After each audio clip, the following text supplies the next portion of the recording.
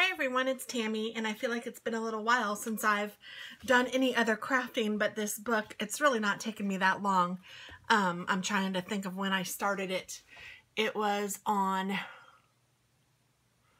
Sunday, I believe, and it's Tuesday now, and I worked a lot of Sunday on it. I probably think this took maybe, I don't know, six hours to do or something like that. I don't know. I could be a little off.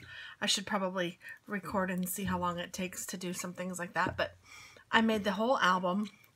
This is thanks to a monthly kit that I ordered from Country Craft Creations. It is a beautiful, really cool paper. The paper's from Doodlebug. Doodlebug. It's called Boos and Brews. The UPS man is here, so he might be delivering something. I'm going to pause. Yes, indeed, he was delivering something for my husband. So, um, it's called Boos and Brews. So B-O-O-S. Sorry, he has a loud truck. B-O-O-S-B-R-E-W-S. I have my window open because it's 70 degrees today and it's just gorgeous outside. So I have the air off and the windows open and it's nice. Um, and there is someone on their team who goes by LMS Crafty Creations who like went through how she made this album because I guess that they like all figure out how they're going to do it and I don't really understand this is my first month but you can get a monthly subscription to Country Craft Creations and every month you are able to then make an album with the fun stuff they send you. Now you do have to supply your own, oh goodness, what did I use? My own chipboard, my own uh, cardstock, minus the designer cardstock, but like all of the plain, uh, you know, orange, black, cardstock, gray, all of that was mine.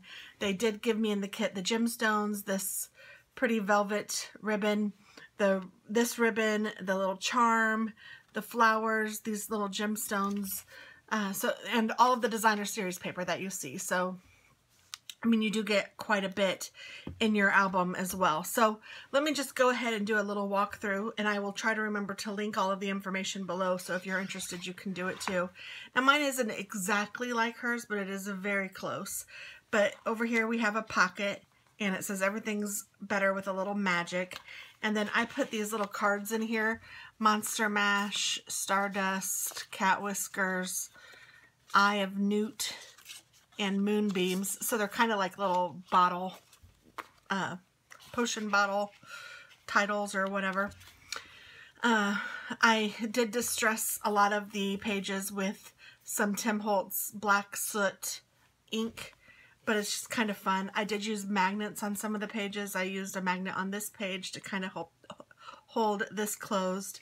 This was on one of the pages. I just cut this down and matted it on black and then added it to this fun flip out. So all of the the book, like the basic book, I did make, but I followed a tutorial from LM's Crafty Creations and I used exactly what she told us to do.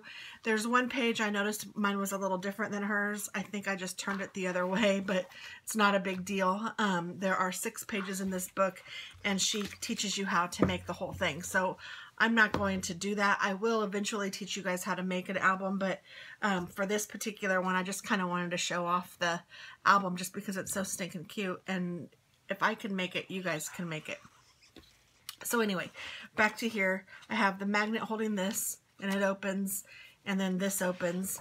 And this is just a little, oh, this one's just a, you know, holds a picture or some journaling. There's some stickers on here. That is just a piece of uh, designer series paper that I cut to look like that. These are some stickers that came in the kit. This is a little October 31st, just a photo mat or whatever you want to do on the back.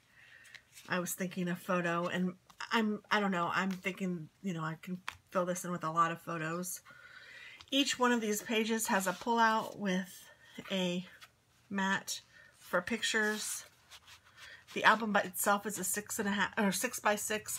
These I think are five and a quarter by five and a quarter. could be five and a half by five and a half. I don't exactly remember, but all of the dimensions and everything are in her instructions. Over here, this is a little pocket. You can pull out this and it says Toad Warts on it. And then you can open it up and put more pictures on the inside. So it's just a little pocket. It says Trick or Treat. This was one of the stickers. You can open it this way.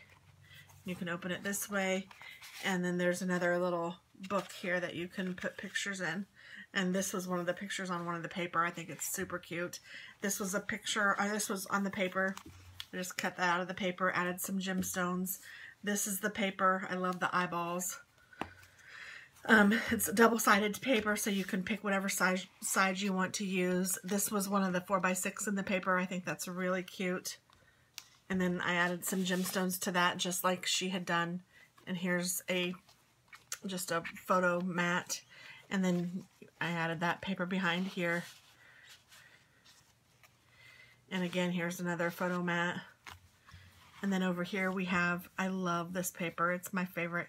But you can open it this way, and then you can open it again this way, and then you can open it this way and this way. So it's got lots of room for lots of fun pictures. Again, I love this paper, so that's cute to me. I didn't put a magnet on this one. She did not, so I did not. Um, I kind of just followed her instructions and tried to do what she did. This was one of the 4x6s little rhinestones or gemstones on their eyes. This opens and then this is a pocket and I put some more of these little things in the pocket and then here's another photo place. I don't think this is very straight, but it feels so good. And it's hard to move it after it's been put down, so I'm just leaving it. But it really does feel nice. It's so velvety. And then this is another little book I put this paper on here and I put a little sticker that is a spider so it just fits over those but you can kind of see how it's shiny comparatively. And I don't remember how she decorated hers. I know mine's a little different. We did use different paper in some of the spots but for the most part I followed what she did. Um, there is you know my own ideas throughout but she like she used this paper here and stuff like that. So I mean it's it was definitely cased, but I mean, it's, I, that's why she gives you a whole tutorial because she wants you to do it. And this is cute. This is one of the papers. It says Eek. Added some gemstones. You can open it this way. This is a little pocket here, and I put a bunch of little thingies in here. And you could use these as a journaling page or as a photo page or just something fun to just kind of look at, which is what I kind of think it's and you can put them however you want. And then here's this, and this is just a sticker. You can open this one up and another stickers, and then turn it here. These are stickers. This is just, you open this up, Halloween night, and I put this is Halloween here. And you can put a picture there, use it as a photo mat.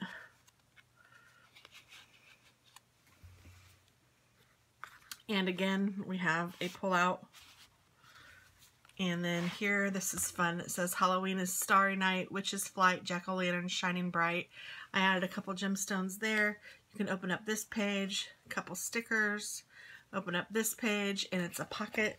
So this is a side pocket, and it has this cute paper behind it, and then that paper, and then I have three different kinds of paper here. All of them are just straight on the back so that you can add your pictures or journaling or whatever you feel like you want.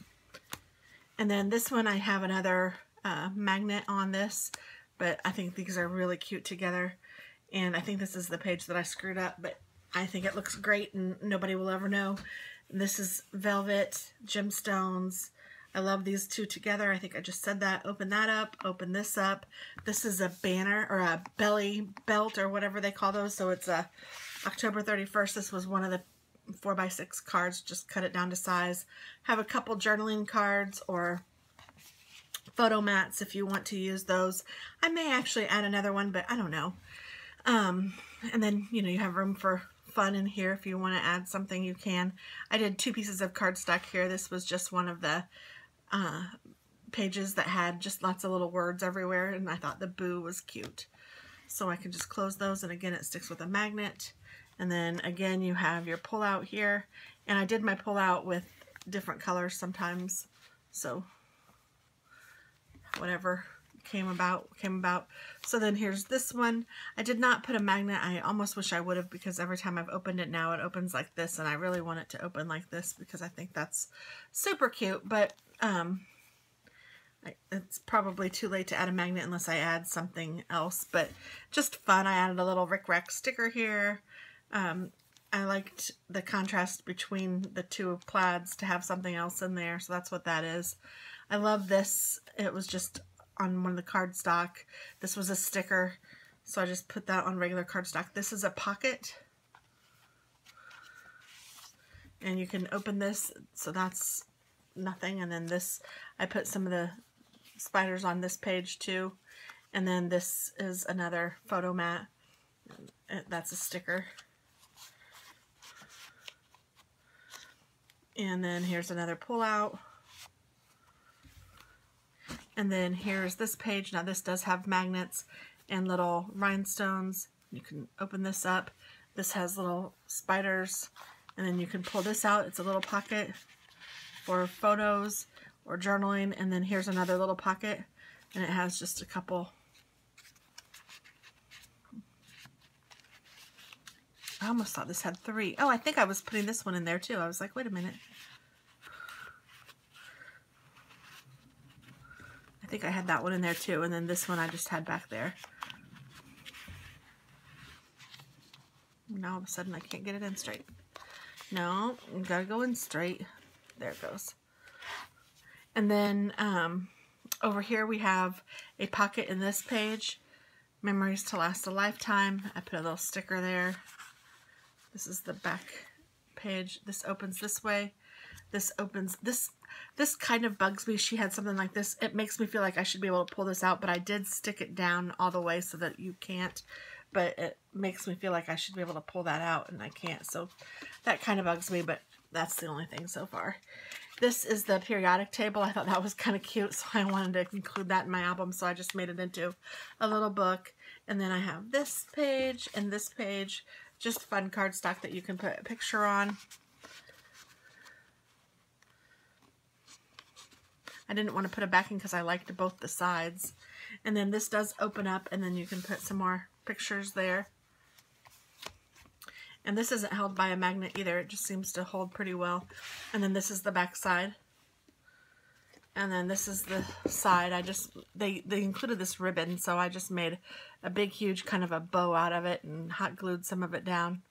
And yeah, that's all I did. And then made a bow here and put that little charm there.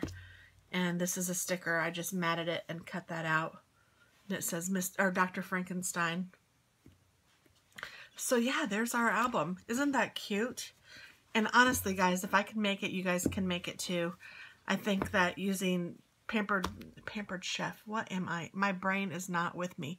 Using the Stampin' Up cardstock, it really was nice because, you know, it's all just nice cardstock and you can just cut it and just be done with it and it's super nice and you know that you're getting good quality product. I love our products but I didn't have all of it so like this the black is ours but the orange is not so whenever I had to use just generic reflections brand cardstock or whatever I would put it on a piece of Stampin' Up cardstock just to make sure that it was stand-uppy and worthy. Um, I think this is reflections to that black or that purple. I don't know, but yeah, it just turned out really cute. Six pages, lots of pictures. I don't even know how many pictures it will hold. Probably well more than I'll take this year. So I'll have maybe a couple years of Halloween stuff I can put in. Maybe even more since my kids are older. It's kind of a bummer. I just really liked the album and wanted to make it. It might be one that gets stored away until I need it for some occasion, but um, I thought it was really cute and I needed to make it. So that's what I did. So thanks so much for watching. I hope you have a wonderful day. Bye-bye.